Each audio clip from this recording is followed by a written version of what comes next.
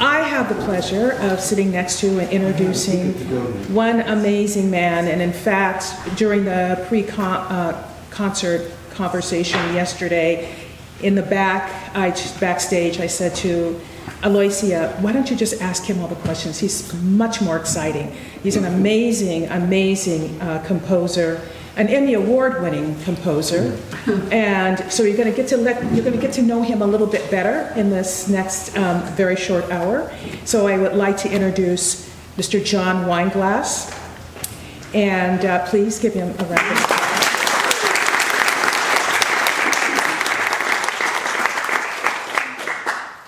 Um, at some point, I'm going to ask him a couple of questions, a series of questions, and then I will read the flowers and um, but uh, let's get to know you a little bit more. Can you tell me how you know how did you become a composer? Tell us a little bit more about yourself and how you know who inspired you to compose music. Oh, how did that all come about? Oh yeah, well. Um, the three B's, Bach, Beethoven, and Brahms. Those are my uh, go-to. Um, when I was five years old, I realized um, I had synesthesia, which is a sensibility of colors and modalities and tones, mm. and I had perfect pitch as well. So at five years old, I wrote my own song called the Rainbow Song because it was off of the colors of the rainbow, which correlated with the modalities of, uh, of the well-tempered clavier, the scale, piano scale. And so from there, I uh, started creating my own melodies. Uh, my mom, I, I learned the Moonlight Sonata, second movement by ear, because my, my sister was a um, pianist. So I used to hear her play and I would emulate her on the piano. My mom got me lessons, uh, and I'm no offense to any pianist around here, but she, I'm glad she got me into the orchestra because I started started on uh, saxophone and I went to flute. My arm wasn't long enough for the flute, and I went to clarinet. My armature wasn't strong enough for that. Then I was on violin for like a week, and everybody everybody played violin, so I found this instrument, the viola. Uh, which is a great instrument because if you're sitting like fourth chair, you're right in front of the oboes, you're right beside the second violins, and you're right in the center of the orchestra. Uh, and so, from a very young age, uh, I started to hear the colors of the orchestra from a very young age. And by the time I was 11, I started to tour. Uh, we went to former Soviet Union, played for Mikhail Gorbachev during those years, the Reagan years, and then uh, we were in Tiananmen Square just before uh, um, that happened. Uh, so so we got so I got to travel. I was like three months away from parents and uh, and, and, go see the world, and so I, I got the bug pretty early. Wow. so what is what is the most challenging aspect of composing music? Ooh, yeah, that's a good one. Because um, currently I'm writing a piano concerto, uh, which is uh, time. you know, finding time to, um, amongst other things that I have going on, uh, being able to, to, take time and get away uh, to, to, be able to do that. So that, that's a hard balance for me. So you composed this piece from darkness to light based off of Alice Walker's story, The Flowers. Um, why did you choose this particular Alice Walker story? And can you talk a little bit more about even the symbolism, all the symbolisms that's in that particular story? Yeah, well, Stephanie Santarosa, she's a, a violinist. Um, during the pandemic, I was commissioned to write a piece called Alone Together, uh, which ended up in the Library of Congress uh, as a response to uh, the pandemic. And she was the concert master for that orchestra. But she was doing a triple concerto that same concert, so she couldn't actually play. She was there, but she was playing another piece. And she said, "Well, I really want to. I really enjoyed that piece. I want to commission you to write this piece." And and a lot of times when I work with arts organizations, I, I don't try to come in and, you know, I'm going to do this, you know, kind of thing. I like to serve the community or the communities that I'm, I'm, I'm writing for. And so she had this idea of this uh, short story um, called The Flowers by Alice Walker. And I remember reading it in seventh grade. Okay. And so all the images of that came back to me in a flurry. And I think after we talked about it that week, I was already writing sketches uh, at that point, and so it really resonated. Um, now, uh, the story, if you'll hear it early, uh, later on today, uh, ends, ends pretty morbid. Um, and the beginning of the piece, if, if you're there tonight, starts from the, the, the ending and goes to the beginning. So we start from, um, and I didn't necessarily think about that initially. I just, a lot of times when I deal with hard topics, I always kind of deal with the hard topic and then vigilance and resilience are those uh, things I want to end on so we can uh, end on a, on a happy note but or a, a progressive note, let's say progressive note. So um, yeah, so you'll hear a lot of that um, in, in the piece. It literally mimics, uh, codifies the uh, poem uh, musically. And the process, just the details of the process of how you composed it. Just kind of tell us a little bit about how that all happened. Yeah, well, um, details in the sense of uh, I play violin, viola, and I play piano, so all those instruments were pretty uh, easy to, uh, to, to, to adapt to. Um, the, the story really starts, uh, the, the, the piece really starts with Myop finding this uh, cadaver, this body uh, of a lynched man. Um, and then um, the second movement kind of moves into his persecution, how he got there. Um, you know, uh, you know, in the Jim Crow era, era, which was like kind of like the second migration of Africans from from Africa. Um, and then we go into more of her stolen innocence, which is the third movement, um, which you know a nine, ten year old shouldn't be experiencing anything like that, but uh, um, that's what she comes upon. And then the first movement is is really her purity in the beginning, where she's you know frolicking through the uh, through the um, her backyard and um, playing with sticks and chasing chickens and things like that. So you'll hear that semblance in the in the very last in the very last movement. So it's back to her, back to her innocence, a new innocence in a sense, but uh, but uh, vigilant and, um, and resilient. And I think now is a good time, since we're talking about the flowers, for me to read the flowers for, for um, this group here. Um, I will also, I will tell you that um, once I, in rehearsal, once hearing your music, the composition, it changed everything for me. I felt as if um, I could go deeper um, hearing that music. It was enlightening and awake. I, felt like I had an awakening, actually, and I really, really urge any of you who have not attended um, this, um, his, his composition, or the, the performance tonight with this particular composition, I really encourage you um, to come because you will just see the brilliance of this composer and how he works. And your heart. Yes. Thank you. Thank you. And Yes. you can live stream it too, if you can't make it into, That's exactly right. You Oh, that's can live stream it if you, if you cannot. to sign make it. up for it. Yes. So I'll, I'll go ahead and, and read the flowers, and we'll have, we'll also ask if there's any questions before we go further. So this is the Flowers by Alice Walker. It seemed to Myop, as she skipped lightly from hen house to pig pen to smokehouse, that the days had never been as beautiful as these. The air held a keenness that made her nose twitch the harvesting of the corn and cotton, peanuts and squash, made each day a golden surprise that caused excited little tremors to run up her jaws. Myop carried a short, knobby stick.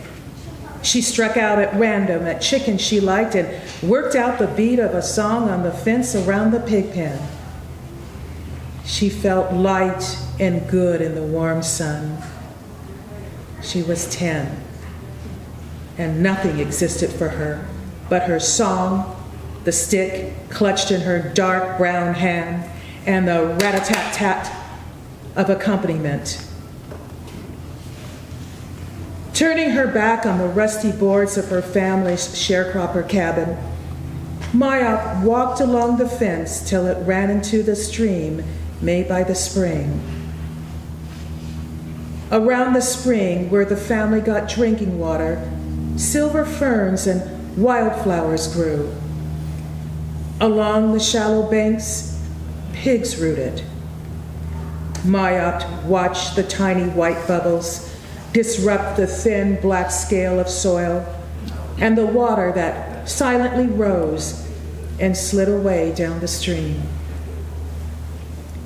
She had explored the woods behind the house many times.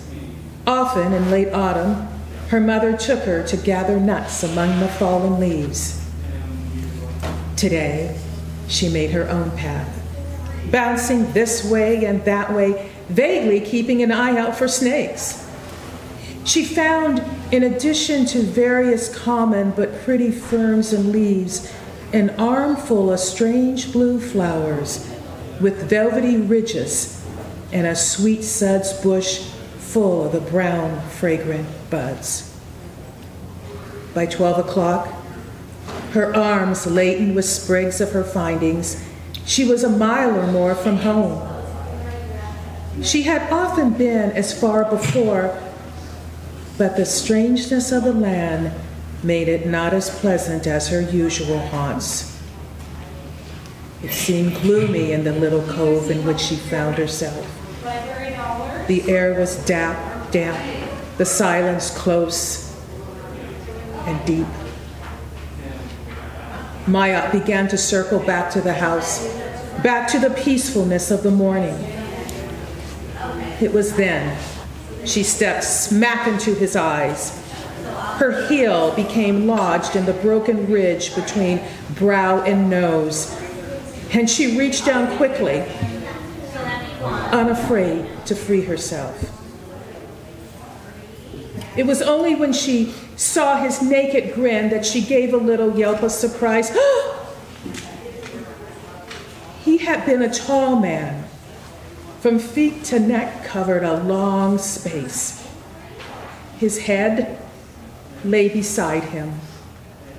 When she pushed back the leaves and layers of earth and debris, Myop saw that he had large white teeth, all of them cracked, broken, long fingers, and very big bones. All his clothes had rotted away except some threads of blue denim from his overalls. The buckles of the overalls had turned green.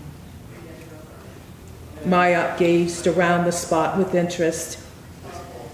Very near where she stepped into the head was a wild pink rose. As she picked it to add to her bundle, she noticed a raised mound, a ring around the rose's root.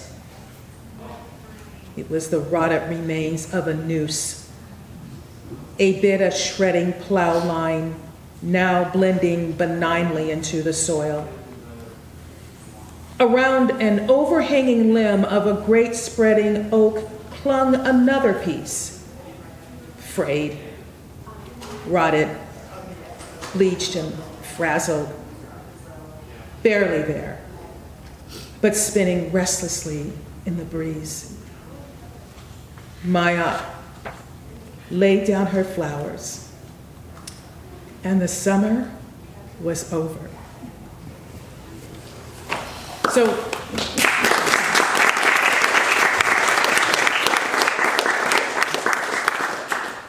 that gets me every time. it's, it's, uh, it's, very hard to read.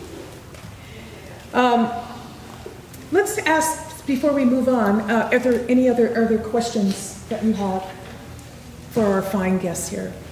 I had a question about the story. I wondered if there was a significance to the name Myop. It's, it's not. Well, I know. I love the name Myop, so I had to look it up. And Myop actually is Greek for myopy, nearsighted, which I am nearsighted.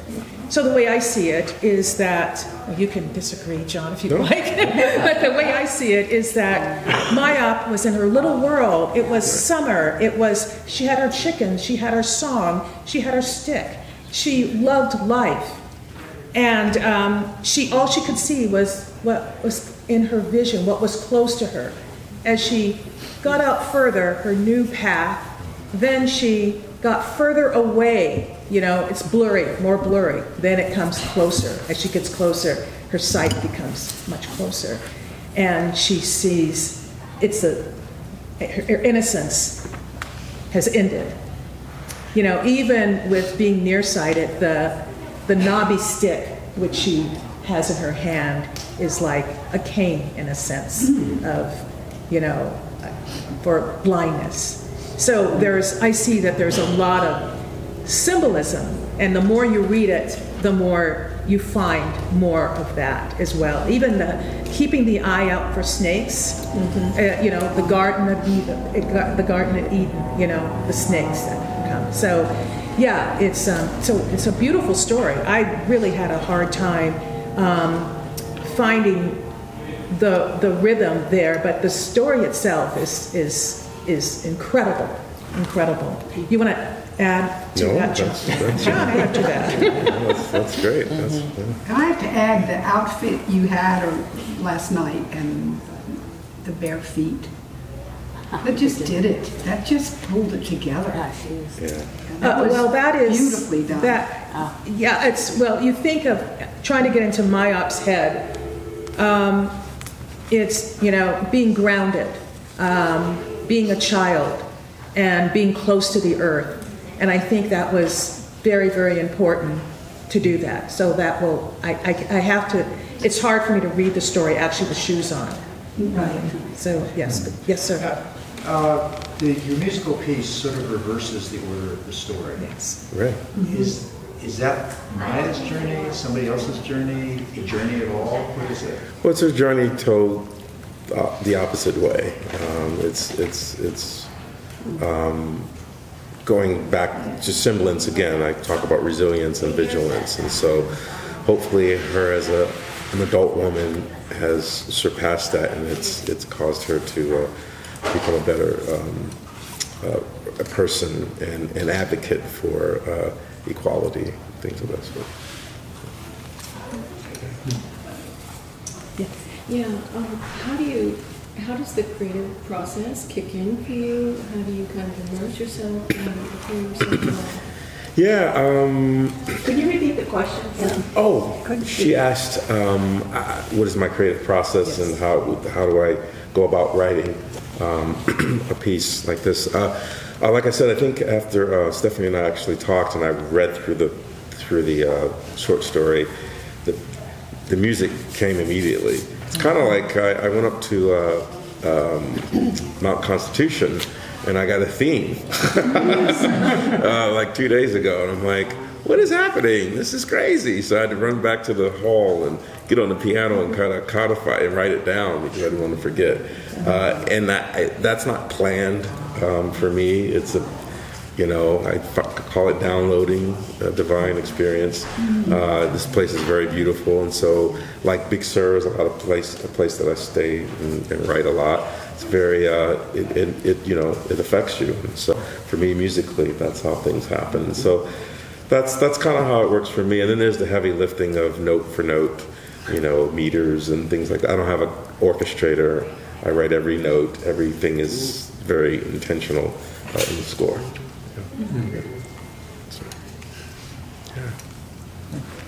So, um, Ken, uh, what's, what's, are are any questions regarding this particular piece? Or, because I just want to get deeper into his thinking, what's, what's next for him? Are there any questions with respect to that? Yeah, yeah, yeah, sure. Yes, oh, I'm sorry, you're, you're next. Oh, me? Yes. Oh, um, yes, um, the, the darkness to light, what in architecture we would call book match. You know, the story that goes from light to dark and then the, the music that goes from dark to light. And did you see it as, as strictly a reversal or did you see it as a continuation of Myop's journey through the trauma into, into healing mm-hmm. which I would think would sort of leave her transformed, perhaps healed as much as possible, but also transformed, not sort of, I mean, once innocence is lost, you can't unlose it. Yeah. And I, I just, I wondered what your thinking was on that. Yeah, I would say the latter for sure. Uh, just that uh, uh, coming out a different person, even through something as tragic as that. So yeah, I would say coming out uh, stronger. Um, but at the same time, kind of you know, you know, um, shedding light into, you know, someone should be able to keep their innocence in that in that regard. And so uh, these things should not happen. So, yeah. Thank you.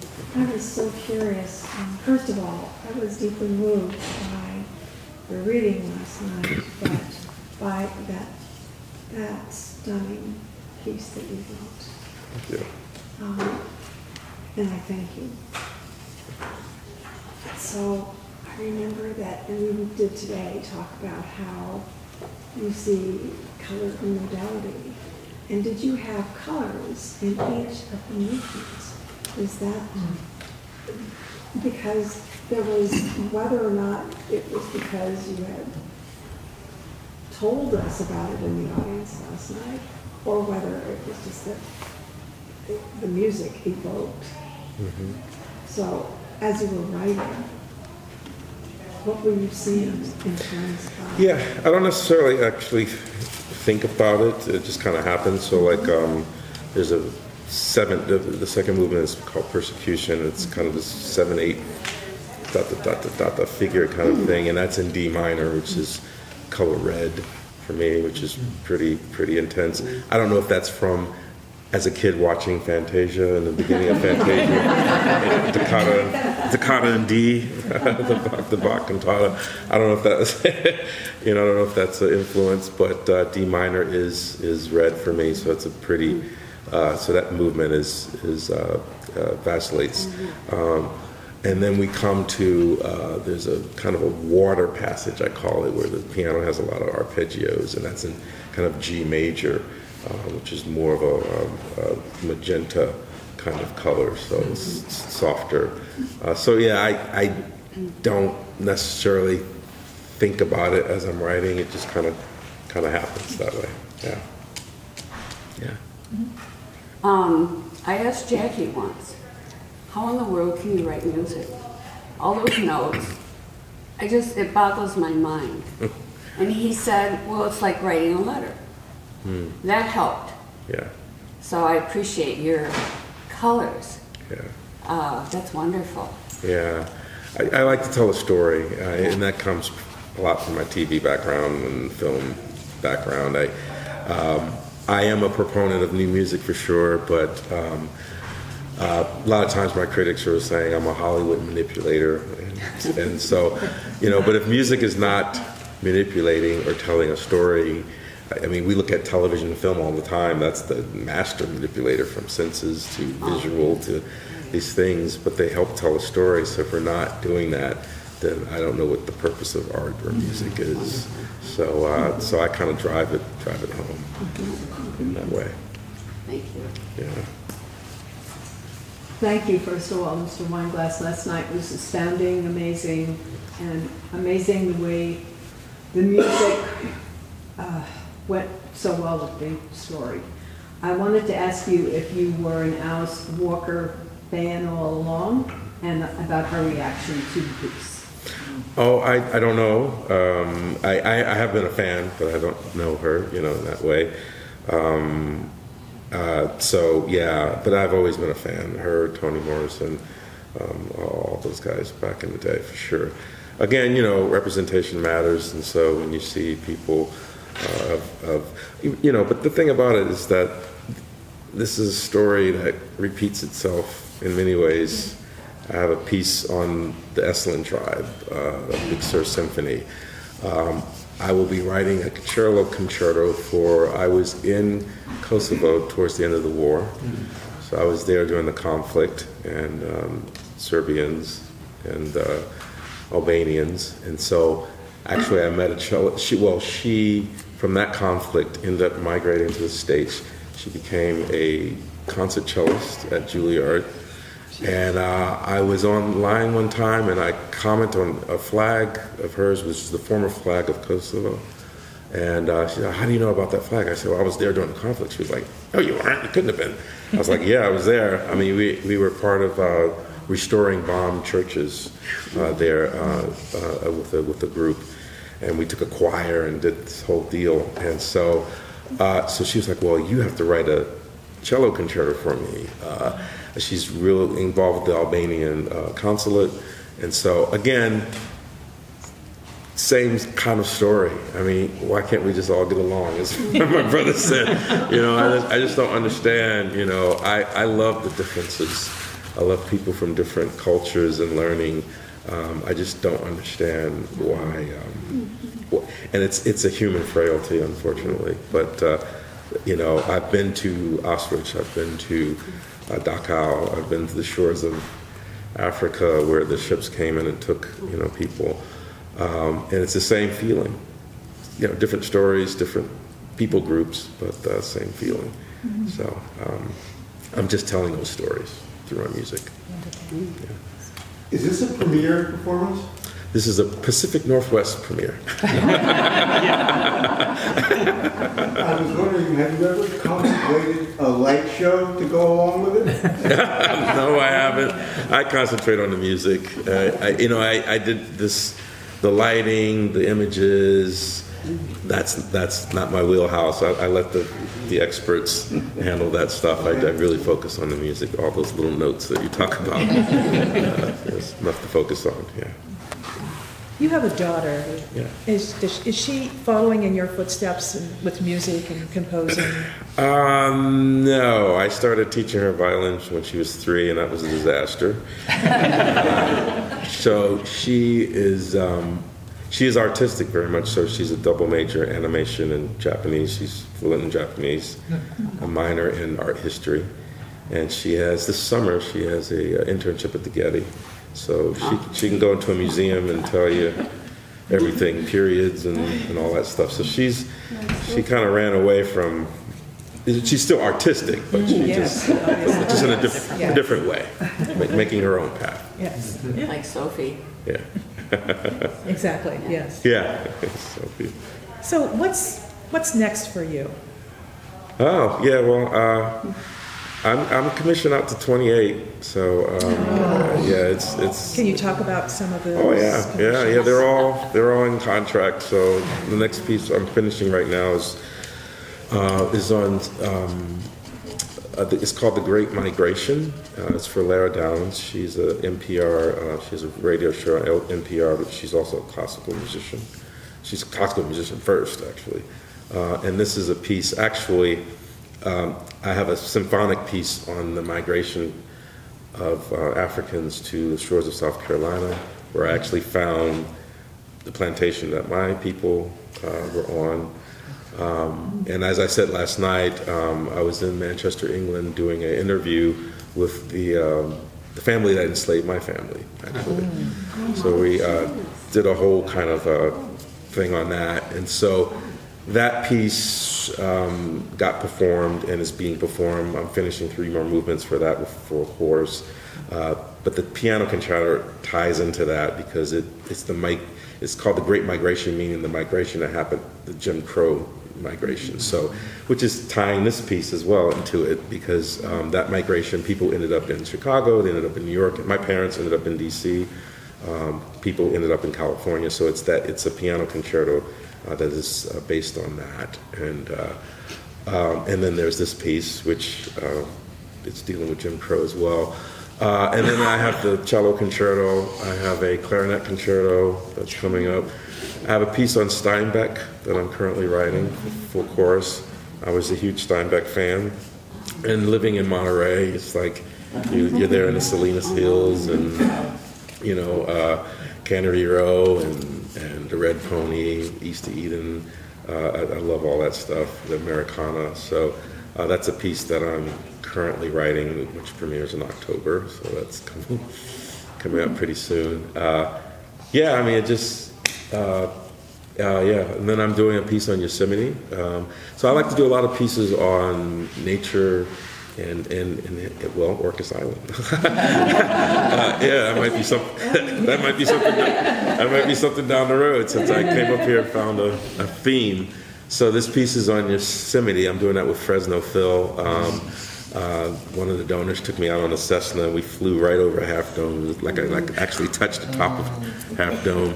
Uh, we flew over the Sierras, which was at the time covered with snow, out to Nevada. uh, which if you've ever done that, it's unbelievable because it just drops from the Sierras down into the, the, the, the, the desert of Nevada, which is like, what? Um, so, uh, yeah, so I'm doing a piece on that, and we're going to have it hopefully down on the, uh, the bed floor of uh, Yosemite Park, uh, so with the symphony. Uh, so that's that's another. Yeah, I got. It's a lot of projects going on. Yeah, it sounds like it. And, and, Yeah. and the summer was over. Is that one of the top, one of your top favorites, do you think? Well, they're like all ch- they're all like children, so you, you don't have any favorites. You know, I just they're all uh, different kids. So uh, I um, yeah, I don't have a favorite. They're I see, yeah, but they're all related for sure. But, but Orcas is the best place you've ever been to in your whole life. Yes, it is. Yes, clarification. Yes. And also are alive with music here. I was pretty. I was actually pretty shocked that that, that happened. You got Tim. going up going up there and I thought, oh my goodness, this is this is amazing. You know, you guys live in a. I was just in Maui probably a, a month ago, and I didn't get that sensibility that I did when I came here. So uh, that's that's saying something. It is, definitely. I think we have time for a few more questions, if you have. Yes. Yeah, um, have you ever composed for dance? Is that just a different type of composing? Typically, uh, people want to, uh, like the Unborn, Unborn, Unmarked piece, uh, someone wants to put that to dance. So typically, I, I don't actually write for dance. They, you know, someone will adapt it to dance. Uh, I haven't had that opportunity uh, to, to do that, but yeah, I'd be, look, I'd be interested in doing something like that on the onset. A lot of times, people are choreographing to my music. So, yes. I'm curious, when you said that on Mount Constitution you have a theme, does that occur to you like a, a melody or is it a Yeah. feeling? Yeah, it was a melody, man. It was a melody. Oh, I can't sing it. In fact, that's why I had to. I usually record on my phone, but you know, my my vocals are not that great. And just so that when I come back to it, that I know that it's solid. I ran back down and got to a piano and, and put it on the piano, so that I don't get it mixed up with tonalities that are happening. So, so yeah, it's a melody that comes. and, yeah, yeah. Outside of more classical music, what genres of music do you enjoy? Oh, I, I do anything that pays the bills. It's like no, but I, I've, I've done jazz. I've, I've, I've toured with uh, Aretha Franklin. I've, I've done stuff with Whitney Houston. Um, I've done stuff with Andre Bocelli. Um, uh, so jazz, gospel. I used to tour with the Harlem Gospel Choir. We did like 40 cities in Germany alone, and uh, to packed audiences. So I, you know, genre is a, it, yeah, it's just it's just a vehicle for communication for me. Oh. So yeah. Jeff? What- What is your dream commission? What would you love to have somebody ask you to do for them? I the fact that I'm doing this is the dream. So I'm living the dream. Mm-hmm. That's that's the way I. Yeah, people ask that question a lot.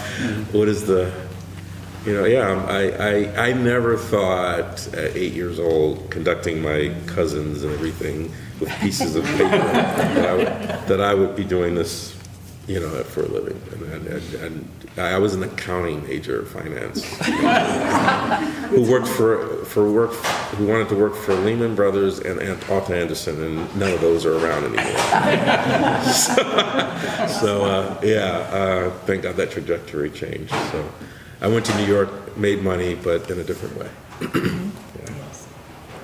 I'm struck by this piece being so archetypal. All I could think of was Persephone. you know, her innocence being taken into the underworld. And, Right. um, that's so archetypal, it just comes unconsciously almost, I, I pretty much think. So that this is an example, as I see it, Right. Yeah. for, for this archetype. Yeah. Yeah. Yeah. Innocence no longer. Right. Mm-hmm. And then how do we live? Mm-hmm. Right. How do we how do we overcome? Mm-hmm. I mean, I talk about the people who I met in Albania when they went through that struggle, um, and some of them we still, you know, people talk about so- social media. Oh, blah blah blah. blah but I mean, I've kept in contact with some of these people because of that, and some of them become world-renowned artists. Um, one lately, one girl, she's she was 14 years old. She's now a model. Like, so you know, through struggle Um, they, they, they, you know, people, we, human, human, the human uh, factor kind of uh, works through, through, through hard times, you know. So it's like, kind of like, uh, what they call it, uh, uh, being put through the fire. The dark night of the soul. Yeah, exactly. Dark Nights of the Soul, exactly.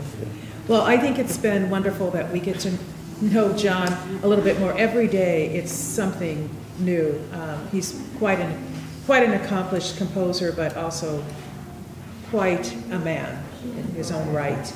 Um, So we're very happy that you could do this today. Uh, Thank you again, John, and thank you all for attending. Appreciate it. Thank you.